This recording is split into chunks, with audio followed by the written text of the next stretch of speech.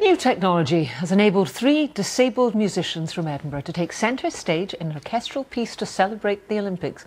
They'll perform a work by a Scots composer which was commissioned to highlight special instruments which are giving people with disabilities greater access to mainstream music groups, as Joanne Macaulay reports.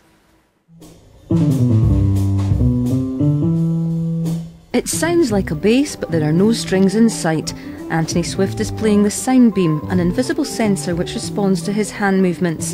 Anthony has cerebral palsy, so holding a conventional instrument is tricky, but this allows him to be a soloist in an orchestra. When I was wee, all I wanted to do was play an instrument, and it's just so amazing to actually get an opportunity to show people what I can be actually be capable of.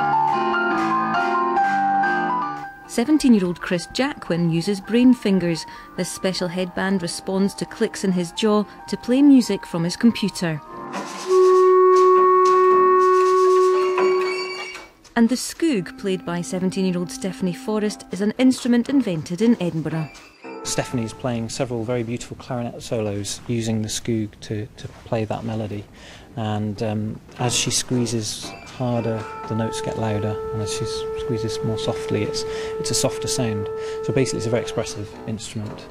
But there's hardly any music written for these instruments, so as part of the Olympic celebrations, Scots composer Oliver Searle was commissioned to come up with Technophonia part of this project for me was actually trying to write music specifically for these so you come away saying well this is a skoog piece if you like this is a piece for Soundbeam and uh, chamber ensemble uh, or this is a piece for Brainfingers the musicians will play Technophonia at London's South Bank Centre, along with other pieces commissioned to celebrate the Olympic Games.